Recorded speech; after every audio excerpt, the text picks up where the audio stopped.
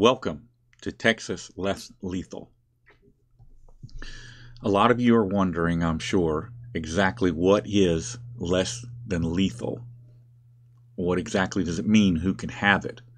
Well, typically, these are going to be um, methods of dealing with violent encounters that do not involve the use of deadly force.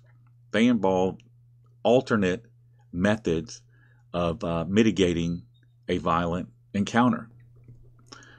Um, primarily, what we will be focusing on are launchers, not firearms, not guns, and it's it's a a disservice to the product if you refer to them as guns. Even though I will probably make that mistake myself, uh, they are launchers or markers. Uh, typically, the vast majority of the ones that you will see myself dealing with are going to be 68 or 50 caliber. Now, this is a 68 caliber pepper ball round. You see the seam there in the middle. And basically, that is fired at around 280 plus feet per second and it bursts there at the seam and spreads the powder within over a wide uh, area. When I say wide area, I'm talking something on the order of five feet or thereabouts.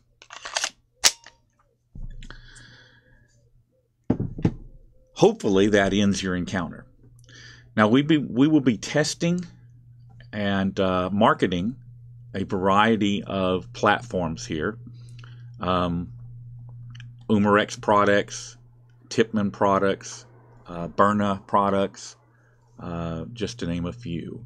Um, these will be, for the most part, optimized for what they do. Now, there are a lot of companies that distribute, for instance, the Tippmann TIPX, the TIPX. The problem is that when you buy them, they're just stock um, paintball guns, basically, that uh, they provide you with uh, pepper ball rounds to, to, to utilize instead of paintball. And this is not it's not satisfactory and it doesn't really optimize the platform. So every item that we distribute will be uh, optimized. It will be tuned to make sure that it, uh, it is up to par for velocity, and uh, it will be tested for function. I realize that you may at some point be betting your safety and the lives of yourself, family, and friends on one of these products. So I will not market or distribute anything that is not going to provide its intended purpose and live up to its uh, uh, claims. You're going to see videos here of uh, testing, testing of the rounds. Uh, we, we test kinetic rounds. We're going to test different brands of pepper balls. And um, we're going to test different different styles of launchers or markers um, to to see what fits what purpose the best. What works good for home defense may not work good for everyday carry, etc. So on. Additionally, you may wonder who can have these different markers. So, paintball markers or launchers are not regulated in any state within the United States. There are no background checks. There are no no anything. You can order them online. You can purchase them from your buddies. You can go to the, your local sporting goods store and pick them up. There, there, there are no regulations on them. However, however, once you load that paintball launcher with kinetic rounds or with uh, pepper ball rounds, you start to run into problems. Many states regulate the use of kinetic rounds and uh, and or pepper ball or mace type substance dispensers. However, uh, that would be something that you need to review with your state laws. I can tell you New York City is a no go, Washington, D.C. is a no go. Um, California, anything that looks like a firearm is a no go. So you need to research and uh, and check your local laws about the use and possession of pepper spray, mace, etc., so forth. Now, if you're a prohibited person, a convicted felon, it doesn't matter. You can still possess these. Uh, you have as much right to protect and defend yourself and your family as anybody else does. And uh, these are, are not regulated and they're fine for you to possess.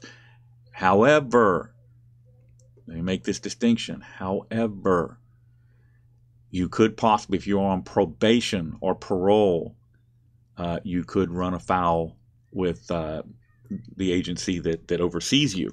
So you would need to verify that you know possessing mace, the pep, the, the paint paintball launcher is fine.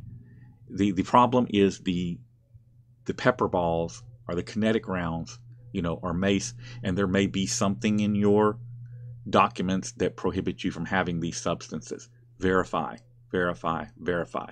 However, if you are not on probation or parole, you're you should be fine.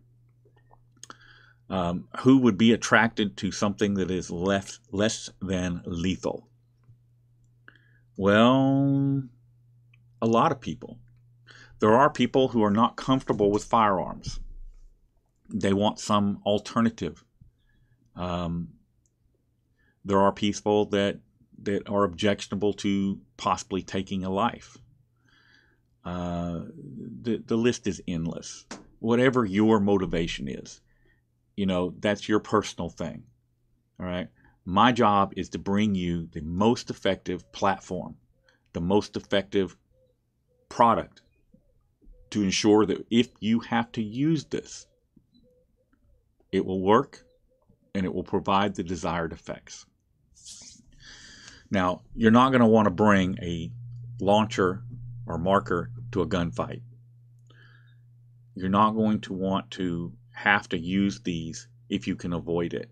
So, one of the things that we will go over is how to de escalate situations and remove yourself from them so that you don't have to resort to the use of force. Um, we will also, because these launchers can be fatal, don't don't think that these are toys. These are not toys. Okay. Um, many of the launchers that I have launch kinetic rounds at between 350 and 450 feet per second. They are capable, some of them are capable of more than that. So these are not these are not toys. They can be fatal. They can cause um, serious bodily injury. So that's something to keep in mind, and that's something in a future video that we'll go over. But I just wanted to do a quick video and welcome you guys to the channel, and um, I hope that you find the information that we impart here helpful.